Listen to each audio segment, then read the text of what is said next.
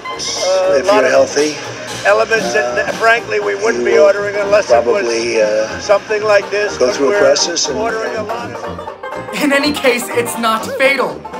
Certain illnesses are good for you. I'm convinced this is Fear is an irrational thing. It must yield to reason.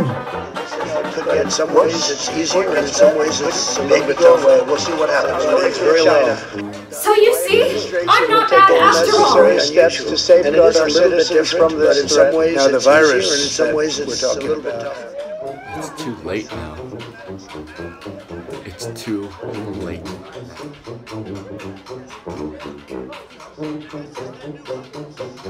Just stand there, and clean up the mess.